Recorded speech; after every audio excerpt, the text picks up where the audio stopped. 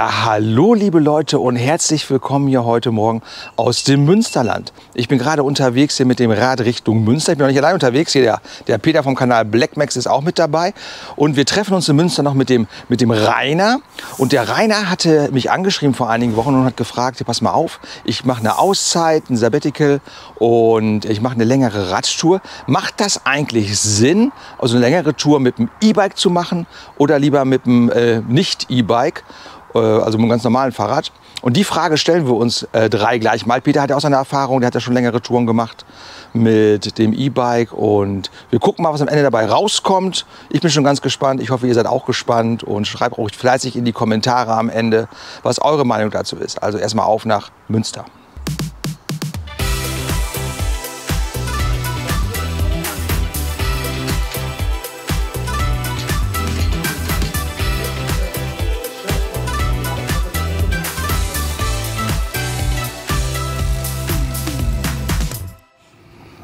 Ja, Freunde, wir sind jetzt in Münster hier angekommen, haben den Rainer hier getroffen. Ähm, ich finde das ja ganz klasse, dass du die Frage gestellt hast an uns, äh, ich sag mal, erfahrene Radreisende in Anführungsstrichen. Wir haben ja schon ein paar Reisen mit dem Rad gemacht, sei es jetzt mit, mit dem E-Bike oder auch mit dem äh, Normalfahrrad. Peter ja im letzten Jahr die Tour auf dem Jakobsweg mit dem E-Bike gefahren. Ich habe meine allererste damals Rheinradweg 700 Kilometer mit dem in Anführungsstrichen Biobike. Ich benutze das Wort nicht so gerne, irgendwie ist ja nichts biologisch abbaubar an dem Ding. Aber ihr wisst, was ich meine, Biobike. Und äh, der Rainer hat es halt vor. Er hat Zeit, hat er uns erzählt, demnächst. Und die Frage stellt sich, oder du hast die Frage gestellt, macht das Sinn, mit einem Biobike zu fahren oder mit einem E-Bike oder wie auch immer? Und ähm, vielleicht kannst du mal ein bisschen was zu dir sagen, für die Leute, die dich nicht kennen und was du da vorhast. Ja, gerne. Ja, hallo. Ich bin der Rainer. Ich denke mal, einige werden mich sicherlich schon aus den äh, Electric Devils Videos kennen. Da sind wir ja schon gemeinsam einige Male unterwegs gewesen, ja. Gut, äh, im Prinzip ist es eine ganz einfache Geschichte. Ich habe so ein paar Änderungen in meinen persönlichen Lebensumständen. Heißt einfach, äh, ich habe 2024 Zeit. Und äh, ich habe schon früher auf äh, anderen Reisen, ich bin häufig wandern gewesen in Schottland, immer die Leute beneidet, die halt nicht in diesen 14 Tagen Urlaubsfenster gefangen waren, in Anführungsstrichen, ja. sondern äh, gerade meistens jüngere Leute nach der Schule oder vor dem Studium, die dann sagten, ja, diesen Monat bin ich in Schottland, vielleicht bin ich nächsten Monat in Irland und so weiter. Und da war ich immer neidisch, habe ich mir gedacht, ah, das, das möchtest du auch mal so diese, diese Freiheit zu haben, irgendwo, wo es vielleicht auch gerade schön ist oder dir gefällt, dementsprechend länger zu bleiben. Und ja, ich habe jetzt die Gelegenheit genutzt, am Ende meines Arbeitslebens mir da jetzt nächstes Jahr mal ein bisschen Zeit frei zu schaufeln. Und ähm, Wandern äh, ist immer noch ein Thema bei mir, aber äh, ich habe das Radfahren auch durch euch, durch unsere gemeinsamen Touren ja lieben gelernt. Und dann kam natürlich die Idee auf, längere Radreisen zu machen. Und ich habe ein E-Bike, ich sag mal mit einem leichten Motor, mit dem ich eigentlich eines machen kann. Alpa Adria Radweg äh, vor einigen Wochen noch gemacht. Aber nichtsdestotrotz kommt irgendwann die Frage auf, die man sich stellt, dass man sagt, ja gut, mit dem E-Bike, du hast halt immer diese Ladeproblematik. Ja. Sprich, du musst schon sehen, irgendwo, äh, du musst irgendwann mal halt den Akku laden. Oder in dem Falle, ich habe zwei Akkus, irgendwann mal die Akkus laden. Also spätestens jeden zweiten Tag. Und da habe ich in Erinnerung, dass der Peter irgendwann mal äh, den, den, den Gedanken äh, geäußert hat, dass er gesagt hat, er würde die, äh, den Jakobsweg nicht nochmal mit dem E-Bike machen. Was war denn da der Hintergrund, Peter? Ja, erzähl mal, Peter. Ja gut, meine Touren waren natürlich ein bisschen, immer ein bisschen weiter. Ich habe übertrieben. Ne? Manche fahren ja so 50, 60, 70 Kilometer am Tag. Das kommt darauf an, wie lange du fahren willst. Ne? Bloß mir war es, wenn du mit einem E-Bike fährst, du fährst ungefähr, sagen wir, 20er Schnitt vielleicht eventuell oder wie auch immer. Und da sind so 80 Kilometer, sind in vier Stunden um. Das heißt, wenn du morgens um 8 Uhr dein Hotel verlassen hast oder deinen Campingplatz verlassen hast, dann bist du um 12 Uhr ja schon fertig. So, mit Fahren. Ja. Und da habe ich gesagt, nee, ich will ich will den ganzen Tag hier ausnutzen. Ich will nicht irgendwo ankommen nach vier, fünf Stunden und dann irgendwie, so wie hier, das war schön der See, ne? der Aasee, aber ich will ja nicht auf Starren die ganze Zeit, ich will unterwegs sein. Ne? Und da habe ich übertrieben, da habe ich ja Touren gemacht, so 160, 170, 180 ne, Kilometer am Tag. Ne? Und da war natürlich irgendwann nicht bedacht mit den Höhenmetern und sowas, weil irgendwann der Akku alle. Ne? Ich habe Dual-Akku ne? mit den Super, den Supercharger von Riso Müller habe ich ja und äh, da, da kommt es wieder auch nicht aus. Ne? Also in den Pyrenäen muss man darauf achten, auch so ein Ding ist mal am Limit. Ne? Heißt ja also, du hast die Tour mit dem E-Bike geplant, damit du längere Tagestouren fahren kannst. Da bist du auch insgesamt ja kürzer unterwegs, von der, von der Zeit her natürlich. Genau. Andererseits denke ich mir dann, wenn du jetzt sagst, okay, du möchtest nicht mittags irgendwo ankommen, wenn ich natürlich mit einem normalen Rad ohne Unterstützung unterwegs bin, mit Gepäck, dann ähm, bin ich ja automatisch länger unterwegs. Dann schaffe ich ja diese Tagesetappen gar nicht. Da bin ich auch den ganzen Tag unterwegs. Ich kann ja noch meine Erfahrung noch eben dazu beisteuern. Ich habe ja die letzten beiden Radreisen äh, oder längeren Touren mit dem Rad ja wirklich mit dem E-Bike gemacht. Also war jetzt der Mighty Electro Devils Tour, war ja dann mit dem E-Bike in, in, in Bayern waren wir ja eh und dann bin ich ja zurückgefahren. Sonst hätte ich das gerne nicht mit dem E-Bike gemacht, weil ich davor im Jahr ja die Emsland Tour gefahren bin, mit dem Anhänger auch und gesagt habe, komm, nächstes Mal machst du mal wieder eine, eine, eine Motor. Ohne Motor ist auch geplant jetzt in Zukunft und äh, ähm, ich denke mir dann immer, was motiviert mich eigentlich dazu, das mitzunehmen? Das eine ist ja, okay, ich kann längere Touren fahren. Das ist definitiv so. Nachteil, ich muss das Ding irgendwo laden oder unterwegs, wenn du die Höhenmeter falsch einschätzt, äh, ist es platt. Großer Vorteil ist ja, ist ja äh, ich kann viel mehr Gepäck mitnehmen ja auch, ne, weil das ja viel einfacher zu fahren ist. Ist das für dich auch ein Argument, irgendwie mit dem E-Bike zu fahren, dass du einfach mehr Sachen dabei hast? Ah, schwieriges Thema. Ich bin es vom Wandern her eigentlich gewohnt, dass man möglichst wenig Gepäck natürlich mitnimmt. Weil klar, beim Wandern, du musst halt alles in den Rucksack reinpacken. Und äh, die haben dann erfahrungsgemäß, wenn du, wenn du, wenn du, sagen wir mal, eine Woche oder zehn Tage unterwegs bist, haben die dann irgendwo so 60, 70, maximal 80 Liter. Und da musst du halt sehen, dass du alles reinkriegst. Natürlich ist es beim Radfahren oder Radwandern auch ähnlich, weil natürlich die, die Packtaschen, wir kennen ja alle diese Ortlieb äh, ja. Gepäckträgertaschen, ich glaube, die haben auch 20, 20 Liter? Die haben 20 Liter, ich habe ja die von Falkenthal, die haben 23 Liter. Ja, genau. Ja, wenn du das addierst, wenn du das addierst, ähm, bist du dann halt letztendlich auch äh, natürlich irgendwo limitiert. Von daher willst du schon, schon relativ wenig mitnehmen. Aber eine Nachfrage habe ich noch, äh, gerade zu deiner Tour aus dem Allgäu zurück. Ähm, ich kann mich erinnern, dass du in deinen Videos gesagt hattest, dass du auch relativ häufig ohne Unterstützung ja. gefahren bist. Sprich, wie viele Wattstunden hast du als Akku dabei gehabt? Ja, ich habe ja äh, das, das, KTM Cento 11 Plus, das hat ja den 623 oder 630 Wattstunden mhm. Akku, irgendwas in der, in der, in der Gegend da äh, ist er dabei.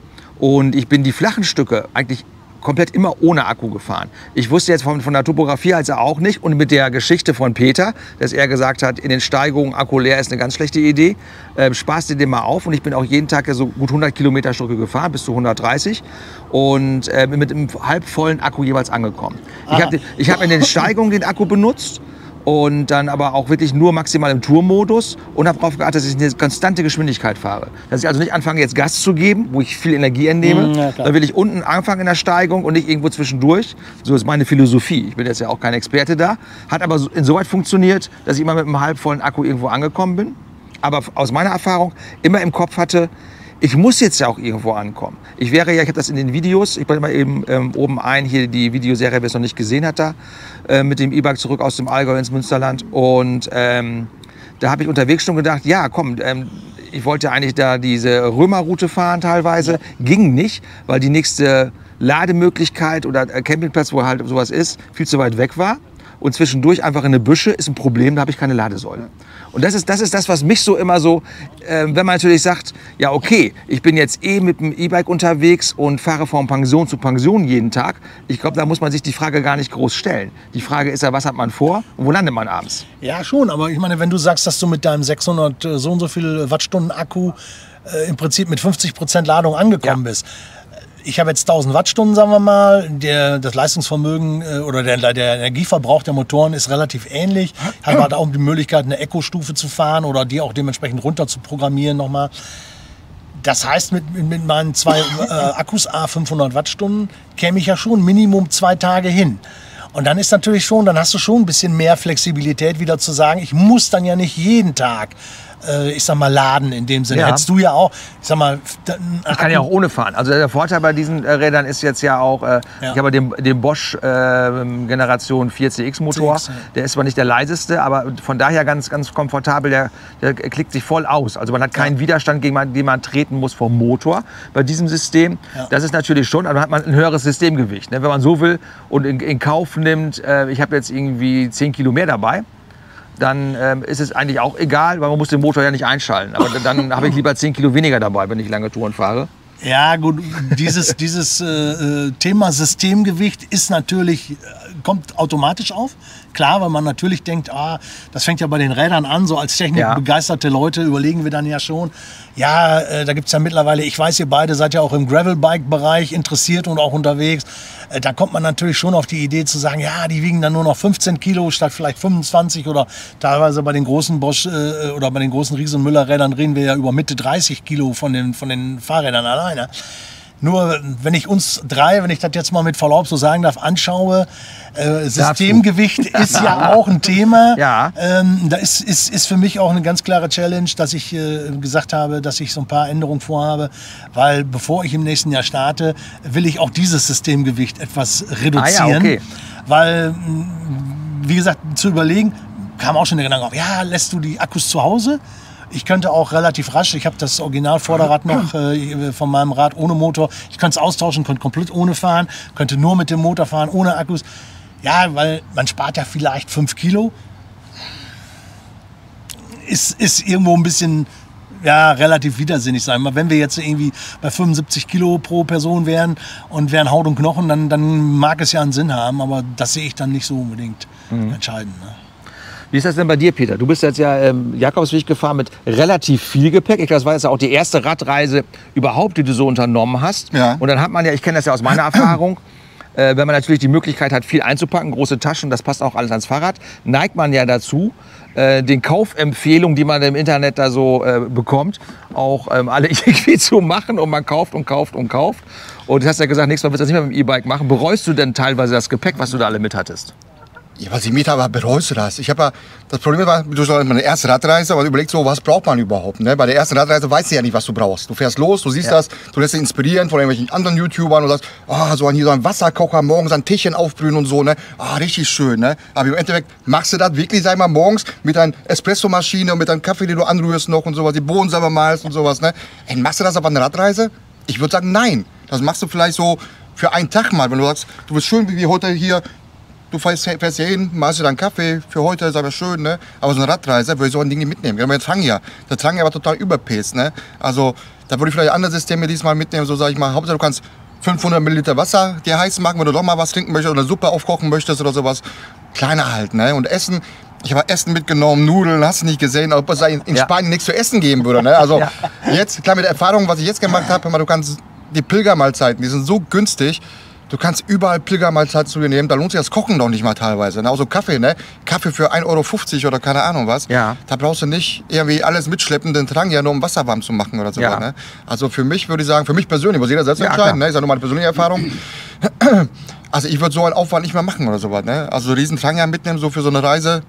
Aber es kommt auch darauf an, was man will. Wenn jemand, ich bin eh super Koch. Ne? Wenn jemand sagt, so, so wie Hülse, würde ich sagen, ne? wenn Hülse sagt, Ja. ich koche da gerne und hast du nicht gesehen, ich brauche das oder sowas, um glücklich zu sein auf der Reise und selber kocht, okay, dann macht das wieder Sinn für jemand. Aber ich kann ja eh nicht kochen. Ne? Also macht das für mich null Sinn. Also wer, wer Hülse jetzt nicht kennt, ich blende mal eben oben den Kanal, den Link zu, zu Hülse ein. Hülse, ja, da genau, links oben.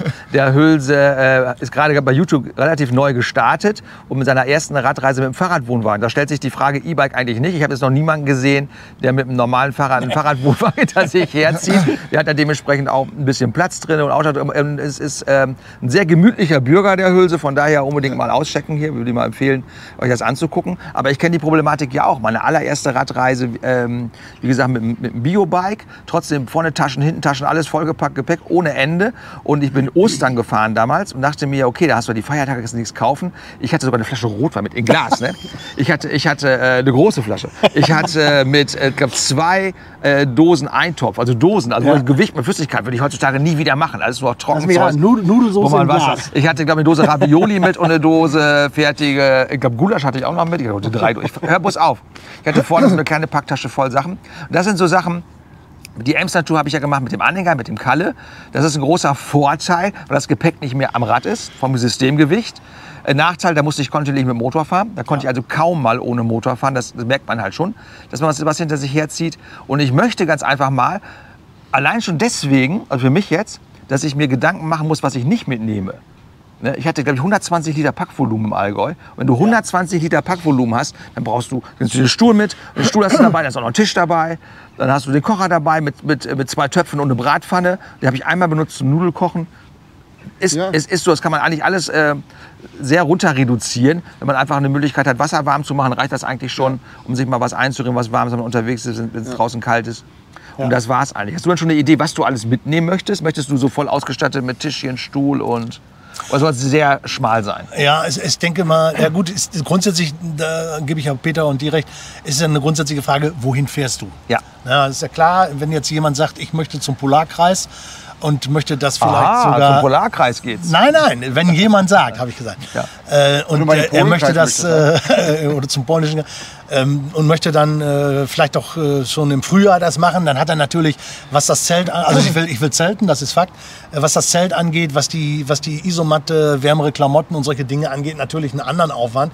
Wie jemand, äh, gestern hat mir jemand gesagt, ja, ich, äh, er fährt ans Mittelmeer und, und, und äh, macht da Touren oder so. Ja. Da sind natürlich auch andere, andere Gegebenheiten. Also bei mir ist es schon abhängig, nichtsdestotrotz von der, von der Jahreszeit. Äh, Fakt ist der, ich habe die ersten vier Monate des Jahres komplett frei und bin da flexibel. Äh, Ursprünglich war mal der Gedanke gewesen, tatsächlich äh, den, den Ostseeküstenradweg zu fahren, den Ja. auch mit meiner Frau zusammen im Rahmen eines, eines Urlaubs und äh, sie dann wieder nach Hause zu schicken, wenn ich das so sagen darf. und dann weiterzufahren durch Polen. Da musst du ja wissen, ob du das so sagen darfst. Genau. Ich dürfte das nicht. Äh, nee, wir nicht, nein. Steffi, schöne Grüße. durch, durch Polen durch. Äh, Baltikum finde ich faszinierend, Ja. interessiert mich sehr. Ja. Und von dort aus dann, äh, von, von, ähm, äh, dann Richtung, die Fähre Richtung Finnland zu nehmen, also nach Helsinki. Dann äh, Helsinki hoch zum tatsächlich Polarkreis, um dann, äh, ich sag mal, die Ostküste Schweden wieder runterzufahren. Das geht, aber da, da brauchst du schon fünf, sechs Wochen. Ja. Und ich kann das ab Mai, kann ich das nicht an einem Stück, weil ich da schon gewisse, teilweise neue berufliche Verpflichtungen habe, die ich selber nicht unbedingt steuern kann. Und so, das heißt, die ersten vier Monate habe ich dann Zeit, habe ich frei. Dazu ist es aber dazu kalt, weil Ja. du kannst nicht im Januar, Februar, März äh, zum Polarkreis fahren, das funktioniert nicht. Ähm, die Alternative, die momentan auf dem Plan steht, ist äh, durch Holland und Belgien zu fahren im Frühjahr, wenn die Witterung es erlaubt, wenn da nicht gerade tiefster Schnee liegt.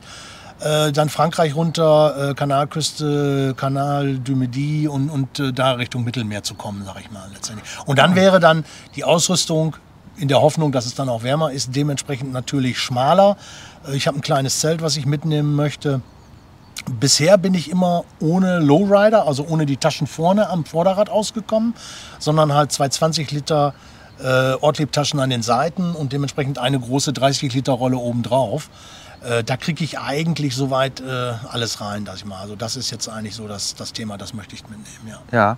Ähm, Stichwort Jahreszeit und zu kalt und zu warm. Der Peter muss schon ein bisschen lächeln. Ich er, er, er hat ja Jakobs, den Jakobsweg jetzt auch nicht im Hochsommer geradelt. Eigentlich zu einer Jahreszeit, die empfohlen wurde, kannst du mit Zelt machen. Welche Erfahrung hast du da gemacht? Da sind wir wieder bei YouTubern und mal Büchern und sowas. Man liest ja voll Bücher, wann ist die beste Jahreszeit, um loszukommen. Ne? Habe ich mir auch gemacht. Ich gesagt, hey, wann, wann willst du da los? Wir haben gesagt, Jakobsweg im Hochsommer, vergiss es. Die Pyrenäen, geht's kaputt. Ne?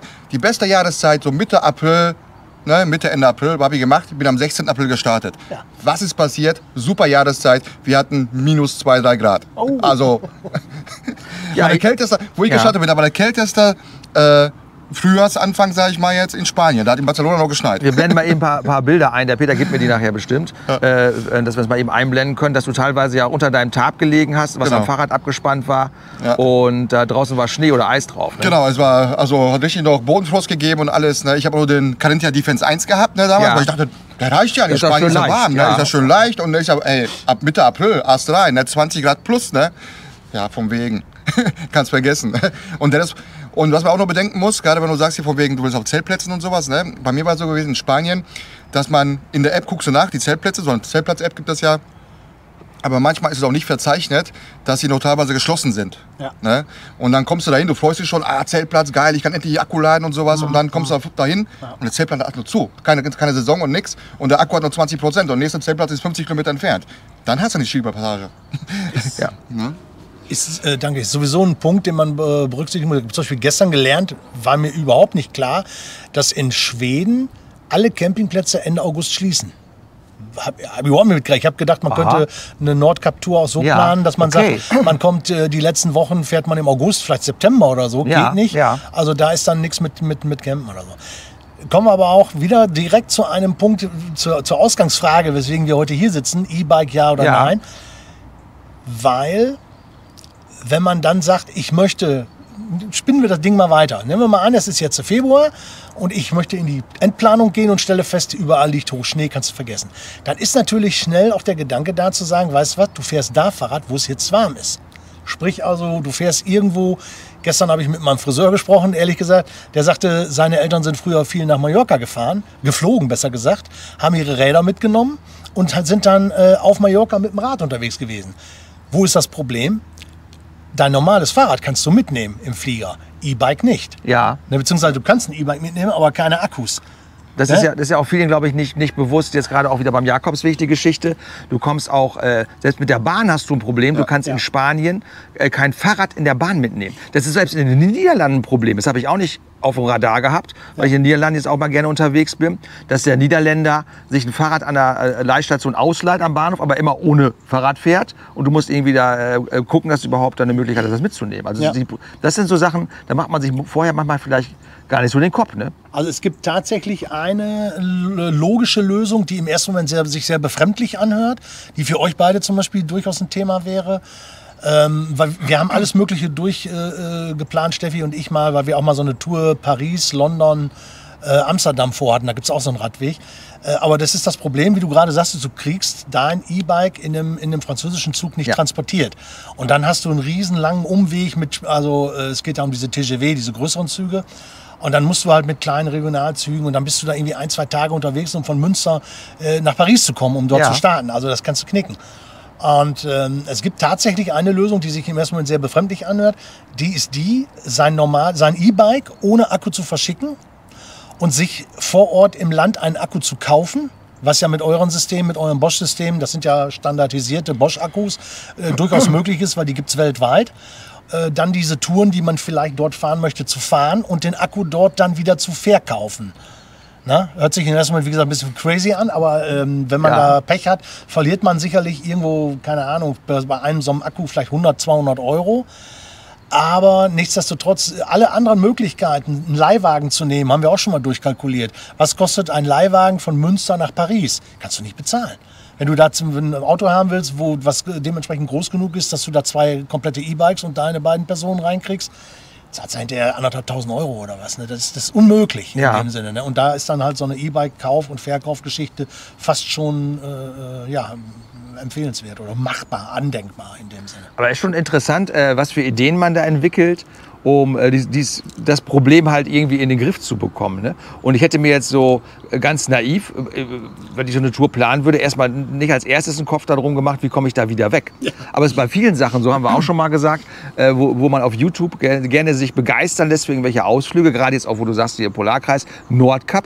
Es gibt äh, zig Videos, wie man sieht, wie Leute zum Nordkap fahren. Es gibt nicht ein Video, wie die da wieder wegkommen, wie nach Hause kommen. Ne? Also das ist noch unsere große Chance, hier äh, ein, ein Unikat zu schaffen. Wie, nicht, wie komme ich da hin, wie komme ich da weg? Ja, vor allem das, ähm, die Frage war ja auch gewesen damals, da habe ich auch noch Glück gehabt, wo ich aufgebrochen bin, ne, zum Spanien-Radweg, habe ich auch zum Dank, ich glaube, du warst es gewesen, und Harry vor allem was gewesen, ne, von Harry Radl, ne, da hat man so, weil, genau, war das erste Mal gewesen, geplant war ja die Tour eigentlich, ich wollte von zu Hause starten, also direkt von Havixberg starten, bis Santiago und da mit der Bahn eigentlich, so habe ich mir das als Laie vorgestellt damals, wo ich angefangen habe, ne, so wie in Deutschland hier ist, ab in die Bahn und zurück nach Hause.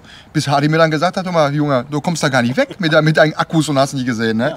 Also wie, war mir auch nicht bewusst damals, ne, dass ich die Akkus nicht transportieren kann. Ich dachte, so wie hier bei uns in Deutschland, du kaufst dir eine Fahrradkarte, schiebst das Ding im Zug rein, hängst es auf und tschüss, ne, fährst nach Hause. Nee, kannst vergessen.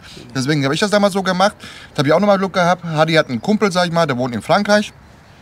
Da durfte ich meinen Tesla parken. Ne? Da bin ich mit dem Tesla bis nach Frankreich gefahren. Bis nach Dax war es, glaube ich, gewesen damals. Und äh, habe mein Auto da stehen lassen, drei Wochen oder dreieinhalb Wochen. Und bin dann von da aus dann gestartet. Und wieder dann komplett zurück über Süden Spaniens, dann zurück zum Auto. Ne? Ja. Weil sonst hast du keine Chance. Ne? Hast du, Aber ich, ich höre ja schon so raus, ähm, so eine richtige Schwarz-Weiß-Antwort gibt es da nicht. Es ist ja sehr individuell, wo, will man hinfahren, welche Jahreszeit. Ich glaube gerade auch kalte Jahreszeit, E-Bike, der Akku hält gar nicht so lange. Welche Topografie ist da? Wir kommen hier aus dem flachen Münsterland. Wenn man sich dann vorstellt, okay, Riso Müller Supercharger, da schaffe ich ja mindestens 100 Kilometer am Tag mit. Und teilweise, glaub, einmal hast du nur 60 geschafft, Also- weil, weil da waren die beiden Akkus platt, ne? mein Supercharger, ja, wenn ich ihn lade oder auf Eco stelle, hier im Münsterland, ne, der zeigt mir an, 300 Kilometer Reich- Reichweite. Da denke ich mir, ey Junge, 300 Kilometer, bist am Laden, am, Ey, ich kann da locker in Spanien und hier und dort und da, ja, Pustekuchen. Du hast da Passagen gehabt, wie du sagtest, ne? 80 Kilometer, da waren die Akkus Platze. das kannst du gar nicht vorher. Ja, ja und dann, ne? dann musst du dann da einen Ort finden, also E-Ladesäulen, Infrastruktur, äh, Südeuropa. Äh, Die wundern sich wahrscheinlich eh, was wir mit elektrischen Fahrrädern da rumfahren. Äh, Also kannst du vergessen, da muss man irgendwie im, im Café oder so dann fragen und dementsprechend da vielleicht fünf Stunden sitzen bleiben, um da wieder einigermaßen äh, Spannung reinzukriegen. Die Topografie kann ja auch täuschen. Ne? Also ich habe dann auch immer gedacht, so, okay, ja, Ostseeküstenradwege, ja, super flach alle. Aber dann sagen mir dann Oh, wieder oh, die nee, nee, erfahrenen nee. Leute, Mhm. Moment mal, da bläst der Wind. Und Wind, äh, habe ich mir von einem Radreisenden sagen lassen, Wind ist eigentlich noch gemeiner als Berge, weil Berge, du guckst in deine Karte rein, du guckst in dein, in GPS, in dein Navi rein und weißt ganz genau, das Ding, das geht noch 1000 Meter lang und dann geht es wieder runter und so weiter. Und das hast du halt beim Wind nicht, sagte mir der Radreisende. Ja. Sondern der, wenn du Pech hast, ist der, geht der Berg, äh, hebt er den ganzen Tag. Und äh, weil du halt den ganzen Tag Gegenwind hast und das frisst richtig äh, Energie. Ne? Ja. Eine andere Geschichte, die auch wieder als Aspekt für mich zumindest äh, damit reinkommt, das ist ja so der, der, der Hintergrund oder der, der Aspekt, sag ich mal, wie viel Kilometer muss ich denn fahren? Will ich denn fahren natürlich? Weil dieses E-Bike fahren habe ich manchmal das Gefühl, das beobachte ich bei einigen Radreisenden, ich will ja keine anschauen, dass es dann auch häufig so ist, dass die Leute dann sagen, dass da so ein Leistungsgedanke aufkommt. Man ist ja so in seinem, in seinem Trott drin. Ne? Man, man, Ja. Wir alle drei sind im, im Beruf äh, voll integriert und auch, auch äh, äh, recht erfolgreich, wenn ich das sagen darf. Und wir sind es ja auch gewohnt, dass wir, wenn wir was können, dass wir das dann auch tun. Und ich sehe manche Radreisende, wir haben auch schon mal drüber gesprochen, deswegen Ja, habe ich die ja, jetzt ja, einmal so angeguckt, die gesagt haben, ja, habe ich im Hinterher nach Tour festgestellt oder nach einem Teil einer Tour, ich bin durch den Ort und durch den Ort. Ich habe mir nichts angeguckt und bin einfach durchgefahren und habe das abgehakt innerlich, weil ich wusste, ich war jetzt in X, ich war in Y und habe dann halt, war vielleicht auch froh, kenne ich von mir genauso, kennen wir alle. Äh, Ich konnte hinterher abends sagen, ich habe 100 Kilometer gefahren, 120 Kilometer. Und da weiß ich nicht, ob vielleicht auch ein nicht motorisiertes Fahrrad einen dann wieder erdet, einen wieder Ja. runterholt. Wenn man, wenn man dann einfach sieht, so stelle ich es mir als Laie in meiner romantischen Vorstellung vor, ja, ich fahre jetzt aber wirklich nur 40 Kilometer oder nur 50 Kilometer, weil ich dann wahrscheinlich gar bin oder so vom Fahrradfahren. Vielleicht ist das aber auch eine Möglichkeit, runterzukommen oder, oder, oder vielleicht auch die, die Gegend mehr wahrzunehmen. Ich, ich weiß es nicht. Ist das eine Einbildung oder? Ähm, äh, aus meiner Erfahrung raus äh, gebe ich dir da absolut recht. Ähm, Gerade bei der letzten Tour aus dem Allgäu zurück, mit dem E-Bike gezwungenermaßen, in Anführungsstrichen, nicht, dass ich jetzt gelitten habe da, darunter, aber ich hätte so, so eine Tour sonst gerne mit dem Normalen gemacht.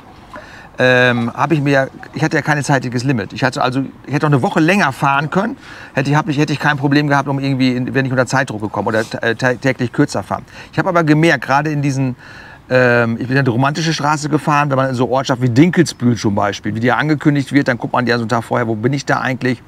Ähm, als schönste Altstadt Deutschlands. Ich will die wunderschöne Stadt und kommst dahin, ist natürlich dementsprechend auch touristisch was los. Ich bin dann ja auch als Tourist da, das ist also keine, keine Beschwerde über den Tourismus, aber das ist nichts für mich. Und ich glaube, Peter und ich, wir ticken da ähnlich. Ne, Es ist dann schön, das gesehen zu haben. Ich bin da nicht der Typ, der, der alleine unterwegs ist, sich jetzt da hinsetzt. Ich glaube, wenn wir zu zweit eine Tour machen würden oder, oder wir oder keine Ahnung, dann würde man mal sagen, okay, wir setzen uns im Biergarten und trinken ein Bierchen. Aber ich bin jetzt nicht der, der alleine sich in den Biergarten setzt und ein, Bierchen trinkt und dann- dann da schön alles anguckt und ähm, dann da weiterfährt. Das, das ist einfach so. Dann freue ich mich, irgendwo abends so anzukommen und ja, am Anfang meiner ersten Tour hatte ich das auch wirklich so, äh, boah, so 100 Kilometer geschafft, 120 und, und was nicht alles.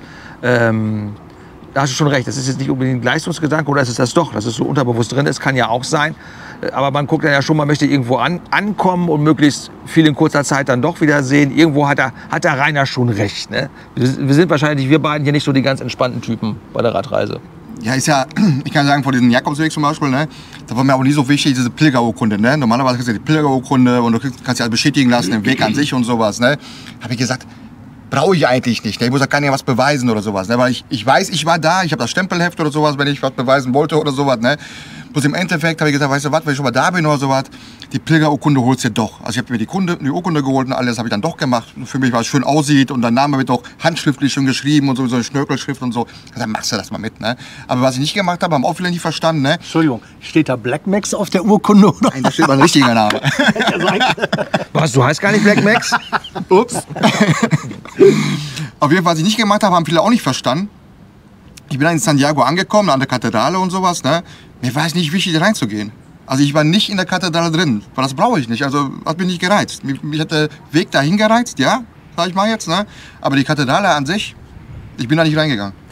Weil du diesen spirituellen Hintergrund, diesen, diesen religiösen nicht hat. Obwohl, das war doch ein Thema für dich. So hatte ich das damals zumindest verstanden, dass du schon äh, da, da äh, gewisse Aktien schon drin hast oder so, oder nicht? Ja, religiösen Gründen. Also normalerweise, sind, wenn dir die Sünden verziehen, so sagt man ja und so. Ne? Aber du hattest keine. Ich hatte keine.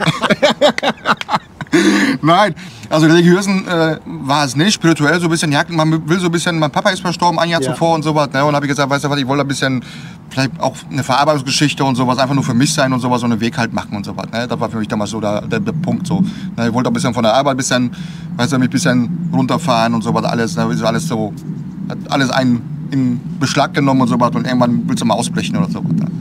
das war so ein bisschen. Da hätte ich bitte noch eine Frage zum Jakobsweg im Allgemeinen, weil ich den regelmäßig jetzt auch vorgeschlagen bekomme.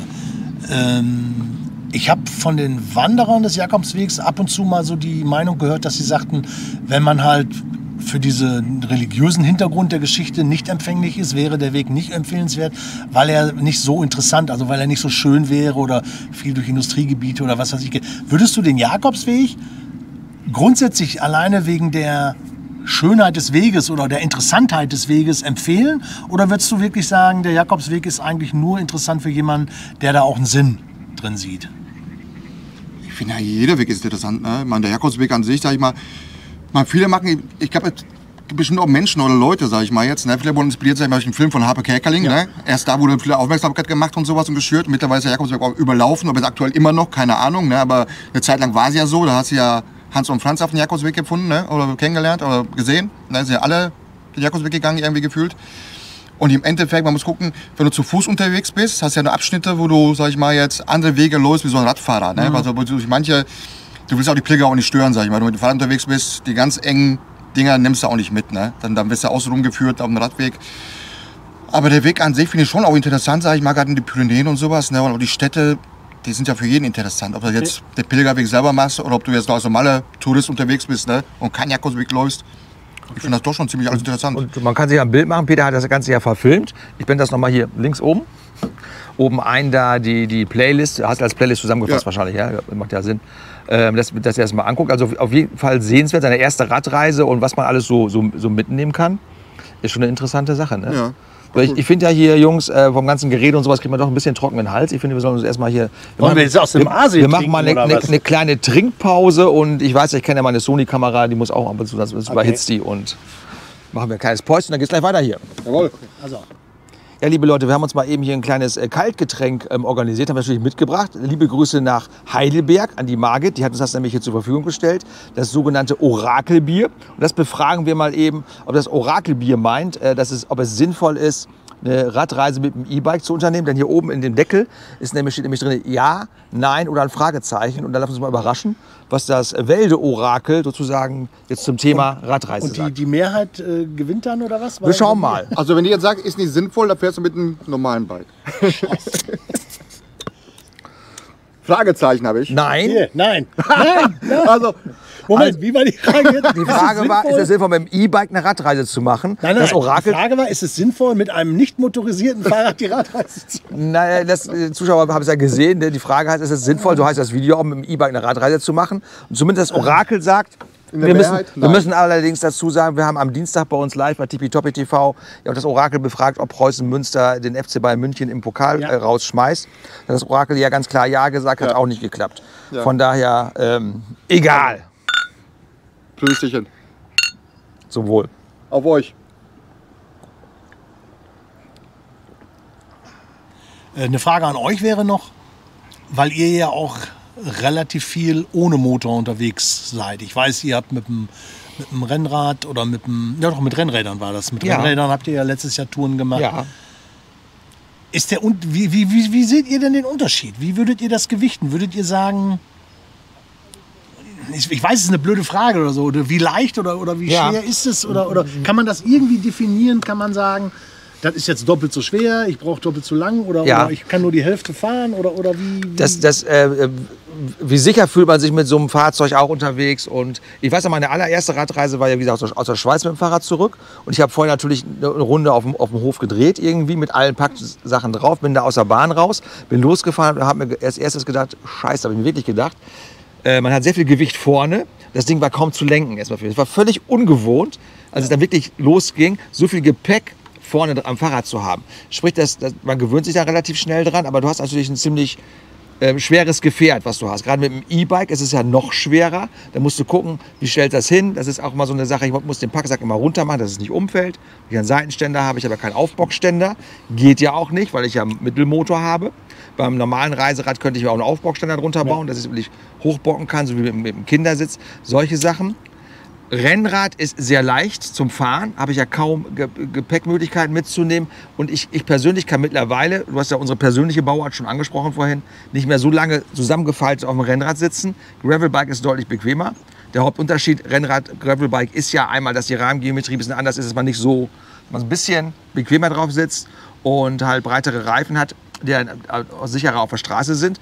Ähm, mit dem Gravelbike habe ich mir lange gedacht, äh, kann ich mich auch für begeistern, auch für eine mehrtägige Tour, Bikepacking. Aber wenn ich dann gucke, wie ich mich einschränken muss mit dem, was ich mitnehme oder was ich mir auch neu anschaffen müsste, an Hightech, hätte ich was gesagt, jetzt Schlafsack, den ich ganz klein kriege und sonst was alles, denke ich mir, komm, du hast ja auch irgendwas mal gut gewesen. Ne? Ich habe ein E-Bike, ich habe ein, ein sehr, sehr gutes, normales Fahrrad, wo ich schon Radreise mitgemacht habe, mein, mein Rad von Velo de Ville. Ja. Ist mit Namenschaltung, auch die Kette ist eingepackt, ist dementsprechend auch ähm, witterungsunabhängig, das ist nicht mit, mit Wasser. Wenn du eine Kettenschaltung hast, das Ding wird nass, musst du es auch noch pflegen. Immer, das sind ja auch so Sachen unterwegs, die man alle mal bedenken muss. Und ähm, dass ich mir denke, mit einem normalen Rad wäre für mich jetzt mittlerweile so, ich bin definitiv nicht so schnell, ich sitze aber für mich bequem da drauf und habe was, was ich handeln kann, ne, was nicht so schwer ist. Ne? Gerade E-Bike jetzt aus dem Allgäu out, das war schon dezent überladen. Ne? Dann spekuliert man ja schon, in, dass, der, dass das Höchstgewicht äh, gut überschritten werden kann, dass ähm, da ja doch Reserven immer einberechnet sind vom Hersteller. Ne? Ich würde immer sagen, aber kommt darauf an, wo du fahren willst. Ne?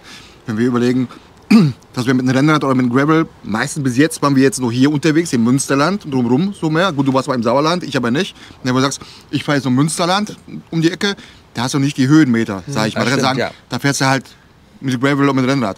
Aber plane ich eine Tour, sage ich mal, wo ich genau weiß, ich fahre jetzt in den Süden, irgendwo über die Alpen oder sowas, ne? da wäre ich mit dem Rennrad jetzt auch aufgeschmissen. Mir auch nicht, wie du schon sagst, nicht durchtrainiert oder was ich was. Dann mache ich, wenn ich mehr Schieberpassagen haben, kann ich mehr wandern wie fahren wahrscheinlich. Ne? Also da bist du vielleicht mit dem E-Bike dann besser aufgehoben. Aber Ne? die Frage war ja, glaube ich, jetzt, wenn man jetzt das E-Bike mal beiseite lässt, Gravelbike, Rennrad oder normales Reiserad oder ähm, ne, ich, also ich persönlich tendiere eher- mittlerweile, eher- ja gut, das mag, mag, mag auch irgendwann dem Alter geschuldet sein natürlich. Oder der, äh, nicht, nicht nur von der Fit Fitness, sondern auch von der Verwöhntheit, sag ich mal. Ne? Dass ich als junger Mensch vielleicht damit auch zufrieden war, okay, gib mir eine Bushaltestelle oder ein paar Blätter, dann kann mich zudecken, kann ich, kann ich schlafen. Früher auf WG-Partys habe ich auf dem Türrahmen geschlafen und konnte nächsten Tag laufen. Da kannst du mich heute mit dem Rettungswagen rausholen, wenn ich im Türrahmen schlafe. Ne? Das Ja. geht einfach nicht mehr so, sich einfach irgendwo hinzuballern. Ich brauche einen vernünftigen Schlafkomfort. Schlafen ist besser als, äh, wichtiger als Essen, auf jeden Fall. Sonst ist man irgendwann wirklich Fritte. Was? Ja, Schlafen ist, finde ich, muss man höher bewerten auf so einer, so einer Geschichte als Essen. Und ich habe nicht von Trinken gesprochen. Und nein, ist im Ernst. Und von daher habe ich so eine Mindestanforderung für mich selber, wo ich mich leicht begeistern lasse und denke mir so, oh, komm, jetzt machst du so als Challenge, aber dann das muss ja auch Spaß machen. Das es soll ja nicht nur aus meiner Sicht jetzt, um ein schönes Genau. Video zu machen, Kaffee kochen. Jakobsweg macht natürlich, die macht man sich vorher Gedanken, oh, das, das kommt gut, machst du morgens die Kamera auch Ja. drauf. Ist ja auch so, ne? Wasser kochen und dann Dings so. Aber dafür den ganzen Rotz mitschlören, boah. Ja, häufig ist es ja auch eine, eine Frage der, der Bequemlichkeit oder des Komforts, den man haben möchte. Ich habe es jetzt gesehen, wir hatten auf unserem Treffen in Telchte, hatte ich mal wieder mein altes Zwei-Personen-Zelt dabei, weil Steffi halt mitgezeltet Ja. hat. Ja, hast du natürlich einen ganz anderen Raum und einen ganz anderen Platz drin, äh, zumal es auch noch freistehend ist. Das musst du, du musst also keine Heringe verwenden, wenn du nicht willst. Ähm, als mein Ein-Personen-Zelt, mit dem Ja. ich sonst alleine reise, mit dem ich im Allgäu war. Weil das ist wirklich so eine kleine Hundegarage, wo du dich da so gerade mal reinlegen kannst, wo du nicht drin, nicht mal richtig drin hocken kannst, weil du dann schon den- das Dach wieder am Kopf hast. Ja, weil es halt zwei Kilo weniger wiegt. Und wenn ich mir dann vorstelle, Gravelbike, Arschrakete, da soll das Zelt rein, ja, da passt mein Zwei-Personen-Zelt, würde da gar nicht reinpassen oder so, sag ich mal. Ne? Und Das ist auch wieder die Frage so wieder, was man will. Ne? Das Problem ist, oh, wie lange bist du unterwegs, was planst du? Ne? Weil wenn du überlegst, ähm, du nimmst ein Zelt mit, da hast den Komfort, die Höhe, sag ich mal, da kannst du auch mal, wenn, wenn du sagst, ich will heute noch hier bleiben, ich bleib Ja. zwei Tage, plane ich jetzt in Kopenhagen, Ja, mal was der Geier was, ne? Und dann will ich ein bisschen Raumhöhe haben und will auch mal sitzen können, vielleicht mal was kochen können im Zelt oder sowas, ne? Klar, muss man sich überlegen. Und wenn du sagst, weißt du was, ne, ich mache jetzt nur eine Gravel-Tour oder eine Rattenrenner-Tour, ich will einfach nur die Hundehütte aufbauen, den Nacht drüber drin schlafen Ja, und morgens direkt weg und sowas. Ich bin auch überlegen, so Biwaksäcke zum Beispiel, ist auch ein, im Moment ein Thema für mich, ne? Bloß da weiß ich ganz genau, Du liegst da, einfach nur in der Hülle, du hast da nichts, du kannst dich nicht anziehen, du kriegst doch nicht mal die Schuhe da an, du kannst doch nicht mal dein Gepäck da rein, gleich einen Rucksack kriegst du da rein, in die Füße und sonst nichts. Da musst du überlegen, was ist, wenn morgens, du stehst morgens auf, es schüttert wie aus Eimern, sag ich mal, dann musst du dich morgens im Regen schon anziehen, sag ich mal jetzt. Das ist mal so, Ja, da muss man halt einen Spot suchen zum Schlafen, wo man halt ähm, ein Dach über dem Kopf hat. Ne? Also in der Bushaltestelle. Ja. Hotelzimmer dahinter. oder so. Hotelzimmer, ja. Das, das, das ist auch so eine Geschichte, habe ich auch mal drüber nachgedacht. Ich habe hab ja, noch- ich hab ja noch nie eine Radreise gemacht jetzt mit äh, äh, festgebauten Unterkünften, hätte ich was gesagt. So eine, so eine, so eine Glamping-Radreise, da hätte ich echt mal Bock drauf. Also nur ab vier Sterne aufwärts. Peter, ist das was für uns? Sehen wir uns da? Also eine Radreise mit ultraleichtem Gepäck, nur 10 Gramm, das ist die EC-Karte. Genau. genau. Die, die, die schwarze Karte nehmen wir mit. Wir nehmen die schwarze, die schwarze Kreditkarte. Die Platin. Die Platinkarte. Und dann nur ab vier Sterne aufwärts. Da müsst ihr aber vorher ein Spendenkonto Und dann lassen wir das Fahrrad fahren wir vor. Das muss dann auch der, der muss dann auch der Portier muss das auch in die Fahrradgarage fahren dann. Ne? Ich habe letztes Mal in einem Video gesehen, äh, ich weiß nicht, bei wem das war, keine Ahnung, aber war schon einer, irgendwie so ein Glamping-Video, ne? Da, Ja. Die haben so gehabt, ne, Formel 1 Pass gewesen, glaube ich, irgendwo was gewesen. Und dann haben die sogar eine Klingel gehabt für Champagner, zum Champagner bringen. Oh. Da hat der Butler einen Champagner gebracht. Im Zelt. Und der Rainer. Rainer hat ja gerade angesprochen, unser letztes gemeinsames Wochenende äh, mit dem Zelt dann da. Das war von den Electric Devils, von unserer E-Bike-Gang. Wenn euch das interessiert, ja auch ein Link unten in der Videobeschreibung, checkt das mal aus. Ähm, Electric Devils, wie gesagt, wer sich da sieht, E-Bike-Rocker zu sein und die ganze Geschichte wird da erklärt, guckt euch das mal an, wenn ihr es noch nicht kennt. Ja. Aber auch nochmal zur Übernachtung an sich, ne? So mein Wunsch war es auch gewesen, auf den Jakobsweg nochmal zu kommen. Ich habe eine Hängematte. Ich penne ja gerne in Hängematten, weil ich dachte, so Hängematte ah, macht Sinn, ne? Machst dann Tab, spannst du auf, schon romantisch und sowas, kannst du pennen. Bäume findest du überall, außer vielleicht auf den 3000er oder vielleicht nicht, ne? Aber egal. So, und weil es so kalt gewesen ist und die Klamotten waren klamm irgendwann nach Tagen, klar, wenn du ein Wochenende mal klamme Klamotten hast, ist auch noch was anderes. Da kannst du sagen, ich war in zwei Tagen oder nächsten Tag wieder nach Hause, scheiße drauf, bin ich wieder im Warmen, ne? Aber wenn du weißt, du bist drei Wochen auf diesem Weg unterwegs ne, und du hast nur klamme Klamotten und du hast so ein Dreierprinzip, sag ich mal, und alle drei sind klamm und nass oder sowas, irgendwann hast du kein, keine Klamotten mehr, ne? Dann musst du irgendwie ausweichen, ne? Und da habe ich auch die Erfahrung gemacht sozusagen. Deswegen für die Spanienreise damals auch ein bisschen abspecken würde ich die jetzt aktuell. Die ganzen Hotels oder die Pensionen, die waren so günstig gewesen damals, ne? Die waren 25, zwischen 25 und 35 Euro, wo der Campingplatz vielleicht auch 15 Euro gekostet hätte. Ne? da kannst du sagen, weißt du was, man soll in der Hängematte aufhängen, keine Ahnung, was für 15 Euro, die ich einspare. Also heutzutage, da war auch wieder Gewicht und Gepäck, ne? mit Tab und Hängematte und Schlafsack, ne? was ich mir heute sparen würde. Ne? Also da würde ich sagen, die 25 Euro plan mal jeden Tag irgendwo pennen. Du könntest sogar noch günstiger pennen können in so diese Pilgerherbergen. Pennst du ja mit acht Leuten auf dem Zimmer und mein Gestarche wollte ich keinen zumuten. Ne? Also. Ja, aber man sieht ja schon, dass ähm, ganz viele Facetten das ganze Thema E-Bike, nicht E-Bike, wie viel Gepäck nimmt man mit, wo fährt man denn? Das, das ist es ja auch am Ende des Tages, was, was es entscheidet für einen selber und natürlich auch, welche Ansprüche man hat, welche Erfahrungen hat man schon. Und wenn man ganz, ganz neu ist, sag ich mal, und noch nie was unternommen hat, Peter ist ja dann direkt los und mit, mit draußen schlafen. Es ist ja bei vielen Menschen schon so, die haben ja schon äh, ähm, Problem damit, auf dem Campingplatz zu schlafen, weil du plötzlich ganz andere Sachen hörst als zu Hause. Ich nenne das ja immer gerne, sich erstmal mit der, in, in der Natur desensibilisieren. Also ich würde ja empfehlen, was noch nie gemacht hat, einfach mal im Dunkeln abends zu Hause in den Wald stellen oder wo ein paar Bäume stehen, die selbst die Klappe halten und mal die Geräusche so auf sich wirken, dass es ist im Dunkeln halt ganz was anderes. Ne? Und erstmal so, so an das Thema ran. Da geht es ja schon los. Und manche sagen ja bestimmt Zelt, da sehe ich mich nie und überhaupt nicht. Ich muss eh die Pension haben. Dann stellt sich die Frage mit dem Laden nicht. Ich habe jetzt schon mal gehört, es soll mittlerweile auch Hotels, Pensionen geben, die wollen keine E-Bike-Fahrer mehr haben. Nicht, weil die nicht bezahlen, sondern äh, wegen der äh, Brandgefahr, Explosionsgefahr der E-Bike-Akkus. Ob da was dran ist, habe ich auch nur so gehört. Weiß ich nicht, ob es da auf Dauer ähm, äh, Probleme gibt. Also wir waren jetzt äh, zuletzt auf dem Alpe Adria Radweg, also sprich Österreich, Italien, da gab es überhaupt keine Diskussion. Also da, das, das hat, da hat niemand nachgefragt. Ich glaube, das ist so eine typisch deutsche Diskussion auch. Ja, was kann passieren? Ja, ja. Äh, Was kann ich, kann ich mich dagegen versichern? Und am besten noch bei drei Versicherungen. So sind wir halt. Ich bin auch so einer. Ich will jetzt nicht über, über ähm, den Deutschen an sich hier lästern. Ich bin auch äh, jemand, der sich gegen alles versichert. Aber jetzt, wo du sagst, so, äh, was mir noch so kurz einfällt, so, es gibt ja auch, wo du sagst, so, es gibt ja, äh, wo man nicht laden darf. Ne? Es gibt genauso gut die Campingplätze mittlerweile, die keinen mit Zelt aufnehmen. Ne? Ja. Wo, äh, da kannst du hinkommen und willst zelten Stimmt. und die sagen dann, entweder wir sind voll, wir können keinen mehr aufnehmen, wo ja, verstehe ich gar nicht, ich habe einen Zeltplatz, ein kleines Mini-Zelt, passt überall in die kleinste Lücke, passt das Ding rein. Ne? Also, das verstehe ich gar nicht, kann ich gar nicht nachvollziehen. Ne? Und dass man so einen Radtouristen, sag ich mal, abweist, kann ich auch nicht verstehen. Klar, was ich verstehen kann, das ist wieder eine Geldfrage oder sowas, ne? ein Wohnmobil damit wenn ein Wohnmobil kommt, nehmen die 60, 70, 80 Euro für. Ne? Und so ein Zelttourist, der zahlt vielleicht nur 12 oder 15 Euro. Ne? Okay, ist eine Margenfrage, aber, äh, Aber es gibt mittlerweile, das stimmt, habe ich auch gehört, Campingplätze, ich glaube in Hamburg auch mittlerweile, wo du mit dem Zelt gar nicht mehr hin kannst. Die haben alles zu Ja. Wohnmobilstellplätzen umgebaut. Ja. Und ähm, das, Das ist es ist dann so. Und ich weiß aber gar nicht, wie das ist, wenn man jetzt einen öffentlichen Campingplatz hat. Beim Taxi ist es ja so, wenn ich ein Taxiunternehmen betreibe, ich muss ja die Fahrgäste mitnehmen. Die Bahn muss ja auch gehen, das ist eine Transportpflicht. Also wenn ein Taxi anrufst, das muss ja kommen, wenn du den Bezirk bedienst. Das Ja. ist so. Ist das beim Campingplatz nicht auch so, dass sie einen aufnehmen müssen? Ich glaube, das sind private Grundstücke und private so? Veranstalter, die haben Hausrecht und können sagen, du nicht. Das ist doch mal so ein Thema, ne? wenn, wenn ihr da Ahnung habt, wenn ihr zufällig Rechtsanwalt seid, sonst hier, äh, können wir mal hier Solmecke fragen, vielleicht beschäftigt sich der damit. Der sucht ja auch immer interessante Themen, das ist vielleicht auch eins. Wildcamp hat er ja auch schon mal behandelt. Ich schreibe den mal an, das interessiert mich nicht, nämlich jetzt. Bin ich, wenn ich dann gezwungen bin, neben dem Campingplatz zu zelten, mache ich mich ja strafbar, weil ich ja Wildcampen betreibe. Aber andererseits möchte ich auf den Campingplatz und darf nicht. Das ist mal eine interessante Frage, finde ich jetzt. Ist Ja. so nebenbei abgefallen hier die Frage. Ja. Ja, Freunde, ihr seht schon, das Thema hat ganz viele Facetten. Jetzt nicht nur E-Bike ja, E-Bike nein. Wo will ich hin? Eventuell Südeuropa, Bahninfrastruktur. Du kannst da nicht einfach eine Regionalbahn äh, das, dein Fahrrad reinschieben. Das gibt's da so nicht. Äh, kann ich mein Fahrrad laden? Kann ich überhaupt mit dem Zelt auf dem Campingplatz? Will ich das überhaupt? Das sind ganz viele Facetten. Äh, wir hoffen, dass wir dem einen und dem anderen von euch da einen kleinen Gedankenanstoß geben konnten, wenn ihr gerade vor der Frage steht, was, was, ich möchte was unternehmen und wie mache ich das, dass man zumindest mal anders um die Ecke denkt. Der Peter wäre damals auch einfach so losgefahren, ohne sich einen Kopf zu machen, dass er mit dem Zug da dann nicht wieder zurückkommt. Und von daher denke ich mal, dass wir da vielleicht ein bisschen Licht ins Dunkel bringen konnten bei dem Thema. Ich bedanke mich jedenfalls für eure Aufmerksamkeit hier, dass ihr das Video geschaut habt. Wenn es euch gefallen hat, lasst mir doch bitte einen Daumen nach oben da. Äh, wenn nicht, dann sagt es nicht weiter.